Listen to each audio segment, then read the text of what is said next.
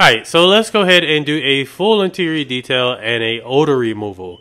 Now as y'all can see, this vehicle wasn't bad. And I charged $250 for it. I felt kind of bad because the customer said they had already paid somebody else to do it and the smell stayed there. So it's very important that you follow up with your customers. That's something that I'm trying to do now, especially with when I'm doing shampoo and seats and carpets and stuff like that.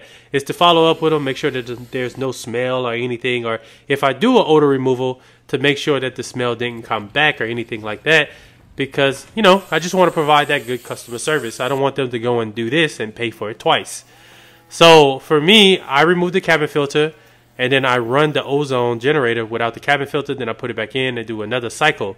I started putting the ozone generator on the outside because from what I've read and seen, it works more efficient on the outside. If it's on the inside of the vehicle, it's pretty much sucking in its own ozone and it can't work efficiently. So that's just something I'm trying.